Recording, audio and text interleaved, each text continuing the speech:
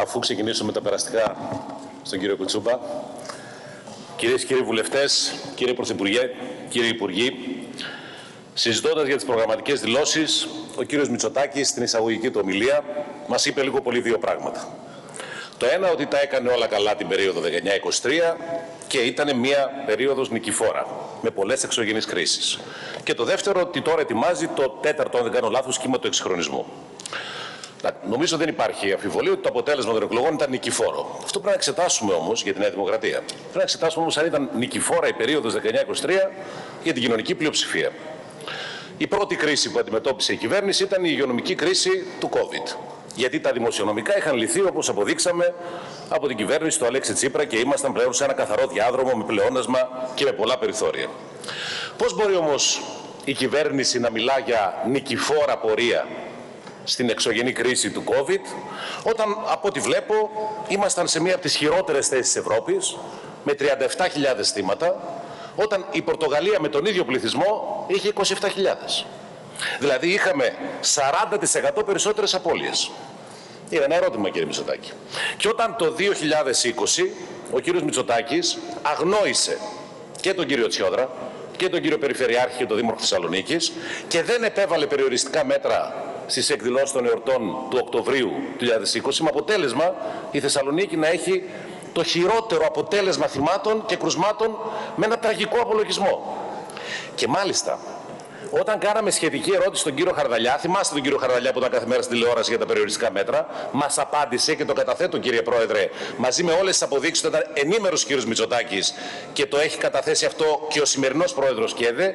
Ο κύριος Χαρδαλιάς λοιπόν απάντησε, προσέξτε αριστεία δεν εμπίπτουν στον κύκλο αρμοδιοτήτων μου τα ερωτήματα. Για τη διαχείριση της πανδημίας, ο κύριος Χαρδαλιάς. Δεν είναι όμως δικηφόρο το αποτέλεσμα όταν ενώ υπάρχουν δισεκατομμύρια ευρώ η κυβέρνηση ακόμα και σήμερα μας λέει ότι δεν έχουμε προσωπικό στο ΕΚΑΒ και έχουμε δυστυχώς τραγικά περιστατικά όπως θανάτους σε καρότσες αγροτικών και μην χρησιμοποιείτε τις τρευλώσεις του παρελθόντων ως δικαιολογία διότι γνωρίζουμε ότι για πολλές αυτές τις τρευλώσεις είναι υπεύθυνοι υπουργοί της Νέας Δημοκρατίας. Δεν ήταν δηλαδή ο κύριος Γεωργιάδης αυτός που έλεγε ότι δεν του κλέψει τη δόξα η Τρόικα που θέλει να πάρει αυτός για τις απολύσεις των ιατρών. Θα ξεχάσουμε και αυτά που ξέρουμε. Και σίγουρα δεν είναι νικηφόρο το ότι η Ελλάδα κατέγραψε το 2022 την πρώτη θέση ακρίβεια στο ρεύμα με βάση τα στοιχεία της Eurostat. Και καταθέτω κύριε Πρόεδρε τους πίνακες της Eurostat για το οικιακό, για τους οικιακούς καταναλωτές, όπου η Ελλάδα είναι πρώτη και με διαφορά και το πρώτο και το δεύτερο εξάμεινο του 2022. Επίσης δεν είναι νικηφόρο το ότι η Ελλάδα το Μάιο του 2023 είχε ένα από τα υψηλότερα ποσοστά ανεργίας στην Ευρώπη και το δεύτερο μεγαλύτερο ποσοστό ανεργίας των νέων, 24%. Και πρέπει να σημειώσω ότι στην ομιλία σας δεν υπήρχε καμία αναφορά στους νέους ως στρατηγική, δεν υπήρχε καμία αναφορά στην καταπολέμηση του brain drain μόνο το επίδομα του Youth Pass. Νομίζω είναι υποτίμηση της πολιτικής για την νεολαία. Τα ελληνικά κυριαρχία από την άλλη μεριά υποφέρουν από μια άλλη νικηφόρα επιτυχία του κ. Μητσοτάκη. Το πρόβλημα του πληθωρισμού. 12,2% η άνοδος στα τρόφιμα, εκρηκτική, καταθέτω το σχετικό δημοσίευμα. Προσέξτε όμως κύριε Μητσοτάκη. Επί 15 συνεχόμενους μήνες διψήφιο ποσοστό πληθωρισμού στα τρόφιμα. Και επί 25 ανωδικός προϋπολογισμός. Τα καταθέτω κύριε Πρόεδρε, θα τα δώσω όλο μετά.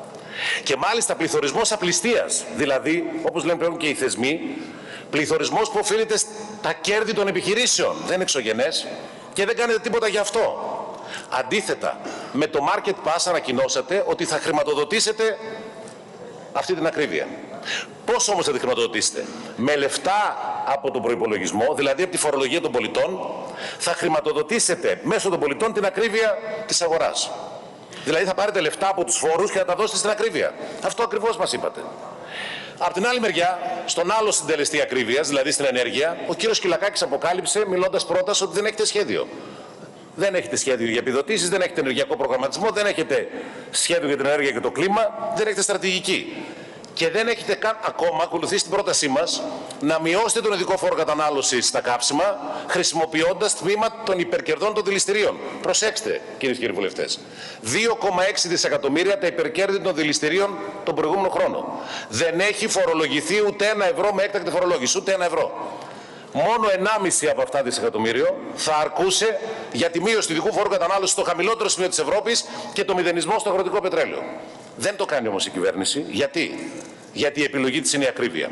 Βέβαια, θα θέσω και ένα ερώτημα ρητορικό.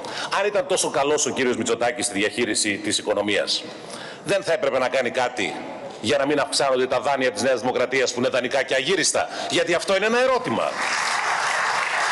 Κύριε Μητσοτάκη, αναρωτιόμαστε όλοι πώς είναι δυνατόν να χρωστάει 400 εκατομμύρια ευρώ δάνεια η Νέα Δημοκρατία και επί της θητείας σας να αυξάνονται συνέχεια; Ο Αλέξο Τσίπρας μας είχε βάλει συγκεκριμένο στόχο, να μηδενιστούν τα δάνεια του ΣΥΡΙΖΑ και το πέτυχε. Σήμερα πράγματι δεν έχουμε τέτοιες υποχρεώσεις. Στη Νέα Δημοκρατία γιατί δεν μπορείτε να λύσετε έσω ένα τέτοιο ζήτημα; Με τόσους βουλευτές, με τόσα μέλη. Και ξέρετε, αυτό συνδέεται και με τη χθεσινή συζήτηση για το ακαταδίωκτο των τραπεζιτών. Ξέρετε γιατί. Γιατί οι τράπεζες είχαν δώσει δάνεια με αέρα, όπως αποκάλυψε η Εξεταστική Επιτροπή της Βουλής, σε μέσα μαζικής ενημέρωσης, στη Νέα Δημοκρατία και στο Πασόκ. Και για αυτά τα δάνεια με αέρα η Νέα Δημοκρατία ψήφισε διάταξη για το ακαταδίωκτο. Και εδώ τώρα προκύπτει μια μεγάλη συζήτηση για τις χθεσινές δηλώσεις του κ. Φλωρίδη. Πρώτον, ήταν η διάταξη της Δημοκρατίας. Ξεκάθαρα. Το ΦΕΚ είναι 18 Νοεμβρίου του 19, η διάταξη του ακαταδίωκτου το καταθέτουμε για να ξέρουμε λιγάκι τι λέμε. Άρα λοιπόν η Δημοκρατία θέσπισε το καταδίωκτο. Έρχεται όμως χθες ο κύριος Βορύδης και λέει, ο κύριος Φλωρίδης, με συγχωρείτε, ότι υπάρχει ένα μεγάλο ζήτημα γιατί δεν είναι δυνατόν τραπεζικά στελέχη να διώκονται μόνο κατ' έγκληση. Εμείς λοιπόν τώρα οφείλουμε για να τηρήσουμε εμείς την αξιοπιστία της συζήτησης, εσείς δεν ξέρω θα την τηρήσετε, να πούμε κάτι απλό. Δεν είναι δυνατόν ο Υπουργός Δικαιοσύνης στη συζήτηση των προγραμματικών δηλώσεων να λέει και να ξελέει εφόσον δήλωσε ότι θα φέρει διάταξη που να έρει αυτή την ρύθμιση της Δημοκρατίας. Άρα δεν θα υπάρχει ακαταδίωκτο των τραπεζικών στελεχών. Οφείλει η Νέα Δημοκρατία να προχωρήσει άμεσα σε αυτή τη ρύθμιση. Αλλιώς, είτε υπονομεύεται συνολικά τη συζήτηση για τις προγραμματικές δηλώσεις, και αυτό προσέξτε, είναι επικίνδυνο, είτε πρέπει να βάλετε θέμα στον Υπουργό σας. Εμείς θα την ψηφίσουμε τη ρύθμιση αυτή, μόλις τη φέρετε και παρακαλούμε να είναι η πρώτη. Γιατί πράγματι, δεν μπορεί να διώκονται οι πολίτες να, να υπάρχει ένα πλαίσιο ανασφάλειας στην αγορά και να υπάρχει ακαταδίωκτος στους τραπεζίτες. Και βέβαια πρέπει να κάνετε κάτι και με τα δανεικά και αγύριστα. Δεν γίνεται να συνεχίσουμε με δάνεια μέρα γιατί αυτό είναι προσβολή και της δημοκρατίας. Γιατί τα κόμματα είναι πυλώνες της δημοκρατίας. Και εμείς θέλουμε τα κόμματα να είναι πυλώνες της δημοκρατίας. Επιτρέψτε μου όμως τώρα να σχολιάσω λίγο την άλλη εξαγγελία σας για το νέο κύμα εξχρονισμού. Εντάξει, καταλαβαίνουμε ότι έχετε μια στρατηγική, θέλετε να απευθυνθείτε στον κεντρό, φιλελεύθερο χώρο, να διευρύνετε πιθανά το εκλογικό σας κοινό, αισθάνεστε και την πίεση της ακροδεξιάς. Να δούμε όμως τι είναι εξυγχρονισμός. Γιατί εμείς θέλουμε μια τέτοια συζήτηση. Κύριε Πρωθυπουργέ, είναι εξυγχρονισμός να χάνονται ανθρώπινες ζωές στις καρότες αγροτικών αυτοκινήτων γιατί δεν υπάρχουν διασώσεις στο ΕΚΑΒ; Είναι κρίσιμη ερώτηση αυτή. Είναι μήπως εξυγχρονισμός να μην ακούει ο Υπουργός Μεταφορών και Υποδομών τις πολλαπλές έγγραφες και επίσημες επισημάνσεις για το πρόβλημα ασφάλειας στο σιδηρόδρομο ακόμα και μέσα στη Βουλή. Να μην λαμβάνει υπόψη του την παρέτηση του υπευθύνου ασφάλειας, ο κύριος Καραμαλής. Να μην λαμβάνει ε, υπόψη του τον κοινοβουλευτικό έλεγχο και να φτάνουμε στο τραγικό δυστύχημα των τεμπών. Και εσείς να λέτε στο πρόγραμμά σας ότι θα λύσετε το θέμα τηλεδιοίκησης στην πρώτη σας θητεία. Αυτό είναι εξχρονισμός.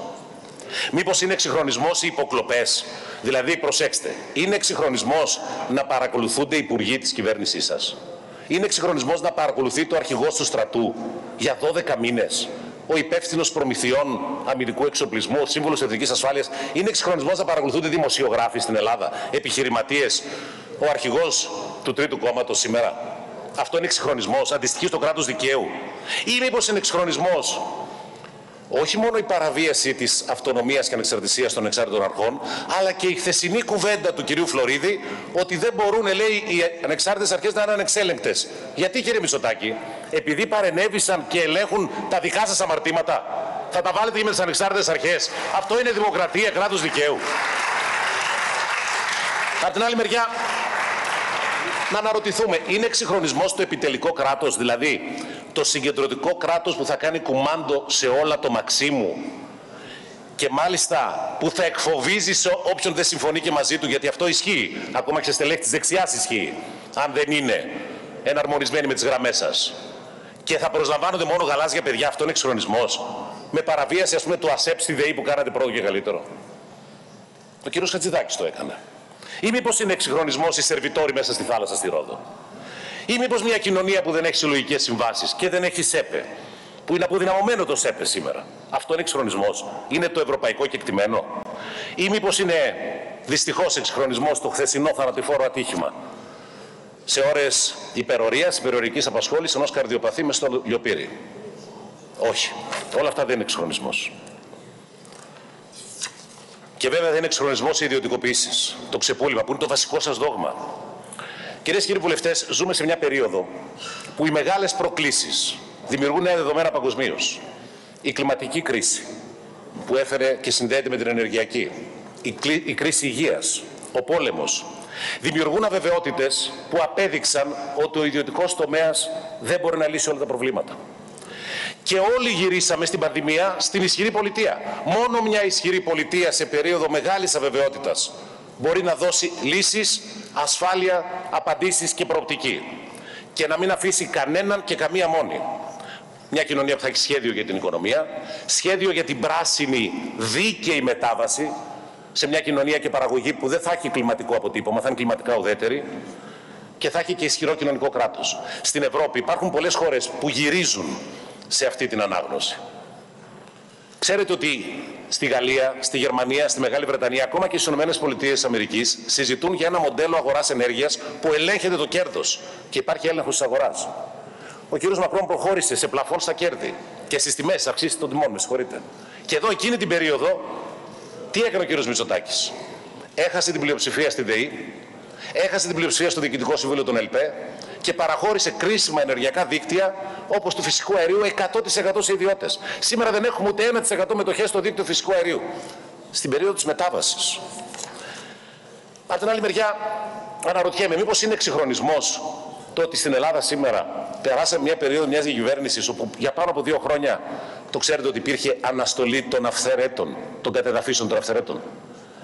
Υπήρχε νόμος του κυρίου Μητσοτάκη, που το παίζει και πράσινος και μας είπε και κάποια λόγια για τη Μύκονο, που στην Ελλάδα νομοθετήθηκε να μην κατεδαφίζονται τα τελεσίδικα κρυθέντα κατεδαφιστέα. Εντάξει, θα τα διαβάσει τα πρακτικά έτσι κι αλλιώς τα νομοθέτησε ο κ. Μητσοτάκης. Το ξέρει πάρα πολύ καλά ότι υπήρχε τέτοιο ζήτημα όσον αφορά τα κατεδαφιστέα. Καταθέτω λοιπόν ένα δημοσίευμα που λέει ότι όχι απλά ανεστάλησαν οι κατεδαφίσεις, αλλά δυστυχώς πολλαπλασιάστηκε η αυθαιρεσία. Αυτό νομοθέτησαν τα γαλάζια παιδιά να μην κατεδαφίζονται τα, τα τελεσίδικα κρυθέντος αυθαίρετα. Πού; Στον Αιγιαλό, στην παραλία, στην Κήτη ποταμών, στις όχθες ποταμών και λιμνών. Για περίπου δύο χρόνια κράτησε αυτό. Δώσανε τρεις αναστο... παρατάσεις. Από τον τρίτο του 21, 10 το 21, 10 το 22, τρίτο 23. Και τα καταθέτουμε κύριε Πρόεδρε όλα τα νομοθετικά αυτά κείμενα για να υπάρχει καμία παρανόηση και τα ΦΕΚ. Και πολλαπλασιάστηκε ευθερεσία το δημοσίευμα είναι από την καθημερινή που λέει ότι πολλαπλασιάστηκε ευθερεσία με τον κύριο Μητσοτάκη. Από την άλλη μεριά, πρέπει να σας πω ότι σταμάτησαν και τη στελέχωση των παρατηρείων δόμησης. Δηλαδή τις δομές που έφτιαξε ο ΣΥΡΙΖΑ για να ελέγχεται η αυθαίρετη δόμηση και το πολεοδομικό κεκτημένο και είχαν προγραμματιστεί προσλήψεις, δεν τις στελέχωσαν. Αυτή είναι η αριστεία και ο εξυγχρονισμός. Γιατί εμείς, ναι, να το πούμε, εμείς τολμήσαμε και ξεκινήσαμε τις καταδαφίσει. Πρώτα απ' όλα θυμάμαι στο Σκινιά, μέσα σε προστατευόμενη περιοχή. Και είχαμε προγραμματίσει και ξεκινήσαμε εμείς τους διαγωνισμούς για τις καταδαφίσει και στην Αττική και σε άλλες περιοχές. Και στη Μακρόνισο. Σε έναν βαθμό αυτά συνεχίστηκαν τον πρώτο χρόνο με τη Νέα Δημοκρατία. Και μετά τέλος. Τα συμφέροντα κυριάρχησαν. Εξυγχρονισμός θα είναι και αυτό. Και αυτό είναι και η βάση, η αιτία για την οποία δεν υπάρχει σήμερα προγραμματισμός χρήσεων γης, προστασίας στις προστατευόμενες περιοχές, δεν υπάρχουν φορείς προστατευόμενων περιοχών. Πολύ απλά γιατί θέλετε να κάνουν κουμάντο τα γαλάζια παιδιά χωρίς σχέδιο. Γι' αυτό δεν έχουμε ειδικό χωροταξικό σχέδιο για τη ΣΑΠΕ. Νέα καθυστέρηση. Από το 19 έχει ξεκινήσει μετά το 24. Γι' αυτό δεν έχουμε σχεδιασμό για την πράσινη ενέργεια, δεν έχουμε τοπικά πολυδομικά σχέδια, γιατί δεν σας νοιάζει το περιβάλλον, μόνο τα ρουσφέτια σας νοιάζουν. Και μας ανισχύει ιδιαίτερα και το καταθέτω εδώ στην Ελληνική Βουλή, ότι ο κύριος Βέμπερ, φίλος του κύριου Μητσοτάκη και το Ευρωπαϊκό Λαϊκό Κόμμα προσπαθούν και πιέζουν ευρωβουλευτές για να υπάρχει αρνητική τοποθέτηση στην αναθεώρηση για τον κανονισμό και την αποκατάσταση της φύσης στο Ευρωκοινοβούλιο. Για να ξέρετε λιγάκι με ποιες ιδεολογίες αναμετρώμαστε και στην Ευρώπη. Και μιας και μιλάμε για την Ευρωπαϊκή Ένωση, νομίζω ότι αξίζει να καταθέσουμε και το τελευταίο έγγραφο της Ευρωπαϊκής Ένωσης για ένα σκάνδαλο 150 εκατομμυρίων στην ανακύκλωση. Ο κ. Μητσοτάκης δεν προχωράει μόνο την καύση απορριμμάτων. Κάποιοι κάνουν πάρτι και με τα λεφτά στην ανακύκλωση, 150 εκατομμύρια ενώ είμαστε στις τελευταίες θέσεις ανακύκλωσης. Αυτά όλα δεν είναι εξχρονισμό. Εξχρονισμό προφανώς δεν πιστεύω ότι θα είναι και η ρύθμιση που ετοιμάζει η κυρία Κεραμέο για το δημόσιο. Μας είπε, λέει, ο κατάλληλος άνθρωπος στην κατάλληλη θέση. Υποθέτω το κατάλληλο τέλεχο Νέας Δημοκρατίας εννοεί. Με προσωπικές συνεντεύξεις, με υποκειμενικά κριτήρια και με φόβο και με πίεση και με ρουσφέτη να κάνουμε κουμάντο σε όλους τους προϊστάμενους στο δημόσιο. Γιατί επί τέσσερα χρόνια ήσασταν, ήσασταν εσείς ο ορισμός του κομματικού κράτους. Με πρώτο και καλύτερο τον κύριο Στάση της ΔΕΗ και το ίδιο τον πολλαπλασιασμό ανισοτήτων και προφανώς την αναχρονιστική πολιτική υπηρετείτε με αυτό που θέλετε να κάνετε στα πανεπιστήμια. Για να μην υπάρχει πρόσβαση όλων των παιδιών στη γνώση, για να υπάρχει αποκλεισμός, για να υπάρχει τέτοια άδικη πολιτική και προφανώς να υποβαθμιστούν τα δημόσια πανεπιστήμια γιατί Κυρίες και κύριοι βουλευτές, το πρόβλημα δεν είναι η συζήτηση για τα κολέγια, που είναι αναχρονιστική. Η συζήτηση είναι για την υποβάθμιση του δημοσίου πανεπιστημίου. Σε αυτό σας καλεί ο κύριος Μητσοτάκης. Και σε αυτό πρέπει να απαντήσετε, αν θα είστε μαζί μας ή όχι. Γιατί ο ΣΥΡΙΖΑ όσο ήταν κυβέρνηση στήριξε τα δημόσια πανεπιστήμια και με θέσεις επιστημονικού προσωπικού, διδακτικού προσωπικού και με χρηματοδοτήσεις και υπήρξε πράγματι τότε ισχυρή, όχι απλά στήριξη, αλλά και δημιουργία πανεπιστημίων δημοσίων με στήριξη και της περιφέρειας. Το ερώτημα είναι εσείς τι θα κάνετε τώρα. Γιατί εμείς θα στηρίξουμε τη δημόσια παιδεία. Βέβαια, υπάρχει και ένα ερώτημα για τον κύριο Μητσοτάκη. Στα σχέδιά του για αναθεώρηση του συντάγματος θα κοιτάξει και προς τα δεξιά του, θα ψάξει και για συνενέσεις ακροδεξιά, γιατί αυτό το καταθέτουμε είναι πολύ επικίνδυνο και το λέμε από τώρα. Κυρίες και κύριοι βουλευτές, προφανώς και θα καταψηφίσουμε τις προγραμματικές δηλώσεις του κ. Μητσοτάκη. Γνωρίζουμε εξάλλου ότι υποκριτικά τι λέει, διαψεύστηκε σε αρκετές του 19, το αποδείξαμε και έτσι κι αλλιώς η πολιτική του δεν είναι εξχρονιστική, είναι αναχρονιστική. Πολλά σχέδιά του αντιστοιχούν στην ΕΡΕ πριν από 70 χρόνια. Να το ξεκαθαρίσουμε. Δεν μπορεί να ανταποκριθεί αυτή η πολιτική ούτε στις νέες ευρωπαϊκές πολιτικές, ούτε στις προκλήσεις του μέλλοντος. Και εμείς, ω ΣΥΡΙΖΑ Προοδευτική Συμμαχία, θέλουμε η πατρίδα μας με αυτή την ιστορία, με αυτούς τους πλουτοπαραγωγικούς πόρους, με αυτό το θαυμάσιο περιβάλλον και αυτούς τους θαυμάσιους ανθρώπους να είναι στην πρωτοπορία της Ευρώπης. Και στεναχωριόμαστε όταν την καταδικάζετε να είναι στις τελευταίες θέσεις. Και θέλουμε να παίζουμε και ισχυρό γεωπολιτικό ρόλο στη γειτονιά μας. Αλλά και έξω από αυτήν. Και μπροστά σε αυτές τις μεγάλες αβεβαιότητες και τις προκλήσεις, το ξεπούλημα της δημόσιας και ιδιωτικής περιουσίας, το ρουσφέτη και η αποδυνάμωση των θεσμών δεν είναι η απάντηση. Χρειαζόμαστε, κυρίες και κύριοι βουλευτές, ένα νέο πολιτικό σχέδιο που δεν είναι η αποθέωση της ανεξέλεγκτη αγοράς και της κερδοσκοπίας, που φέρνει φτώχεια, που φέρνει ανισότητες, που φέρνει εργαζόμενους που κολυμπούν και πυροσβέστες οδηγούς στο ΕΚΑΒ. Υπάρχουν δύο δρόμοι για να αντιμετωπίσουμε, παραδείγματος χάρη, τις ανισότητες και τις τρευλώσεις της αγοράς. Ο ένας είναι η προστασία της εργασίας. Και ο άλλος είναι η ρύθμιση της αγοράς. Δεν κάνει τίποτα από τα δύο η Νέα Δημοκρατία. Ούτε προστασία της εργασίας, ούτε ρύθμιση αγοράς. Εμείς το ξεκαθαρίζουμε. Αυτό το πολιτικό σχέδιο απαιτεί ισχυρή και σύγχρονη πολιτεία. Με καινοτόμα εργαλεία. Με σχεδιασμό και για την οικονομία και την κατεύθυνση της παραγωγής, αλλά και για τα δημόσια αγαθά. Με ισχυρούς ανεξάρτητους και όχι κομματικούς θεσμούς, με κράτος δικαίου και ισχυρό κοινωνικό κράτος που θα εξασφαλίζει την πρόσβαση όλων στα δημόσια αγαθά, όπως είναι η παιδεία, η υγεία, αλλά και η πρόνοια. Και ταυτόχρονα θα εξασφαλίζει την πρόσβαση όλων και των επιχειρήσεων και των Δήμων και προφανώς των πολιτών στα αγαθά του νερού και της ενέργειας. Με μια πλουραλιστική και όχι ολιγοπολιακή αγορά, με υγιή ανταγωνισμό, με ρύθμιση, με έλεγχο της εσχροκέρδεια, αλλά και με πρόσβαση όλων στα χρηματοδοτικά εργαλεία. Γιατί σήμερα, για να πάρεις ένα δάνειο, για να μπεις σε μια επιχορήγηση, για να πας στο μείο ανάκαμψης, πρέπει να έχεις πολιτό είτε υπουργό είτε βουλευτής της Δημοκρατίας. Ε, αυτό είναι αδικία λοιπόν. Αυτή την αδικία δεν τη θέλουμε. Και είναι γεγονός ότι σε αυτό το περιβάλλον του κυρίου Μητσοτάκη, του καθεστώτος Μητσοτάκη, ακόμα και μεγάλες επιχειρήσεις είναι στους μη προνομιούχους και πλήττονται. Η δικιά μας πολιτική δεν έχει παραθυράκια για πολιτούς. Και ο έλεγχος της αγοράς θα γίνεται για όλους. Και θα έχει η κοινωνία, η πολιτεία, ένα σχέδιο παραγωγής ανασυγκρότησης που δεν θα έχει μόνο στόχο την κλιματική ουδετερότητα, αλλά και τη δίκαιη μετάβαση για τις περιοχές που πλήττονται σήμερα από την άδικη και βίαιη απολιγνητοποίηση που έχετε εσείς δημιουργήσει. Όπου τα οικοσυστήματα και οι παραλίες θα είναι προ ανάπτυξης και θα είναι πλούτος για όλους. Και η κοινωνία θα είναι στο επίκεντρο. Και η αυτοδιοίκηση θα είναι στο επίκεντρο.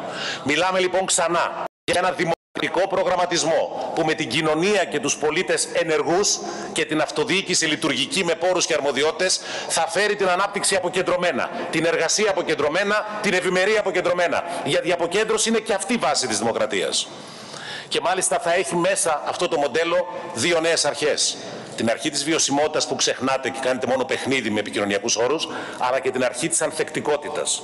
Γιατί οι κοινωνίες μας, οι κοινωνίες μας πια πρέπει να είναι ανθεκτικές και θα έχουν μέσα στο σχεδιασμό και την κλιματική κρίση και την τεχνητή νοημοσύνη και την ψηφιακή μετάβαση και την πράσινη μετάβαση. Αυτή είναι η περιφερειακή ανάπτυξη που εμείς έχουμε στο πρόγραμμά μας, που αντιμετωπίζει και τον δημογραφικό κίνδυνο. Είναι ένα σχέδιο το οποίο στηρίζεται στο δημοκρατικό προγραμματισμό, το ανέφερα. Για ποιο λόγο; Διότι ακόμα και ο Οργανισμός Ηνωμένων Εθνών έχει αναγνωρίσει ότι το σχέδιο για τον 21ο αιώνα είναι σχέδιο τοπικών συμφωνιών. Είναι η ατζέντα του 21ου αιώνα και έχει όνομα συγκεκριμένο. Η Νέα Δημοκρατία δεν έκανε διαβούλευση ούτε για τον κλιματικό νόμο, για να καταλάβετε που έχει γραμμένη τη διαβούλευση και τη συμμετοχή των πολιτών. Εμείς λοιπόν μιλάμε για μια κοινωνία ενεργών πολιτών που ο πολίτης είναι το επίκεντρο, είναι σχεδιαστής, αλλά και ο ίδιος λειτουργεί μέσα στην ανάπτυξη αυτή. Και έχει ρόλο και μπορεί να διεκδικήσει το μέλλον του. Έτσι είναι η προκοπή για όλους. Δεν φοβόμαστε την κοινωνία. Συνομιλούμε με την κοινωνία. Ο ΣΥΡΙΖΑ Προοδευτική Συμμαχία είναι η μοναδική πολιτική δύναμη που μπορεί να υλοποιήσει αυτό το σχέδιο και μπορεί να εκπροσωπήσει αυτή την πολιτική πρόταση. Γιατί; Γιατί και το γνωρίζουμε και το δουλέψαμε και το δουλεύουμε και τώρα. Και αυτή η αναλλακτική πρόταση έχει στο επίκεντρό της την εργασία, αλλά έχει και την καινοτομία και την παραγωγή. Προϊόντων με υψηλή προστιθέμενη αξία, αλλά με ασφάλεια και υγιεινή στην εργασία. Με αμοιβές καλές, με τη μαριφική αναπροσαρμογή, δεν είπατε τίποτα με αμοιβές και στους συνταξιούχους, παραδείγματο χάρη. Και για τα αναδρομικά δεν είπα τίποτα. Σας λέω ορισμένα παραδείγματα που απουσιάζουν. Γιατί πρέπει να το ξεκαθαρίσουμε. Η ανάπτυξη δεν μπορεί να είναι βιώσιμη αν τα ωφέλη της δεν διαχέονται σε όλη την κοινωνία. Και αν δεν διασφαλίζει η ανάπτυξη ότι θα έχουν όλοι οι πολίτες πρόσβαση στα κοινωνικά αγαθά. Αλλιώς το ρήγμα της κοινωνικής συνοχής και ο κοινωνικός αποκλεισμός αλλά και οι κοινωνικές συγκρούσεις θα είναι κολοσιαίο μπροστά σε αβεβαιότητε τη επόμενης μέρας. Και θα αμφισβητήσει τη δημοκρατία μας. Εμείς λοιπόν παίρνουμε θέση σε αυτό το ερώτημα. Για όλα τα παραπάνω, δεν θα στηρίξουμε μια κυβέρνηση το μόνο που κάνει, το μόνο που κάνει να μεγαλώνει τις ανισότητες και να μειώνει δυστυχώς και τη δημοκρατία μας και τους θεσμούς. Εμείς θα δώσουμε ψήφο εμπιστοσύνη στην κοινωνία. Θα δώσουμε ψήφο εμπιστοσύνη στους πολίτες. Θα δώσουμε ψήφο εμπιστοσύνη στην εθνική οικονομία. Και πάνω απ' όλα, το είπαμε και στην πρώτη μας τοποθέτηση, θα δώσουμε στήριξη και ψήφο εμπιστοσύνη στις αξίες της δημοκρατίας, της αλληλεγγύης και της πρόοδου. Γιατί αυτή είναι η βάση της κοινωνίας μας, αυτή είναι η βάση της ζωής μας. Μόνο αυτές οι αξίες μπορούν να στηρίξουν την επόμενη μέρα. Και σας καλέσαμε και περιμένουμε μία απάντηση. Να ορθώσουμε ένα μέτωπο απέναντι σε σκοταδιστικές, αναχρονιστικές, ακόμα και νεοφασιστικές αντιλήψεις που επιχειρείται να κανονικοποιηθούν. Γιατί αυτό σημαίνει και η απομάκρυνση και από τις κοινωνικές επιστήμες και από τις καλλιτεχνικές επιστήμες στην παιδεία και αυτό ήταν έργο της Νέας Δημοκρατίας. Για όλα αυτά, ο ΣΥΡΙΖΑ πρέπει να είναι και θα είναι ακόμα πιο ισχυρός. Γιατί είναι μοναδική πολιτική δύναμη που εγγυάται ένα βιώσιμο σχέδιο. Γιατί δεν έχει δεσμεύσεις και υπηρετεί μόνο τα συμφέροντα της κοινωνίας και ιδιαίτερα της νέας γενιάς. Σε αυτά, στα συμφέροντα της νέας γενιάς, στα συμφέροντα της κοινωνίας, θα είμαστε όλες και όλοι συνεπείς, μέσα και έξω από τη Βουλή, καταψηφίζοντας πρώτα τις προγραμματικές δηλώσεις του κ. Μητσοτάκη. Ευχαριστώ πολύ.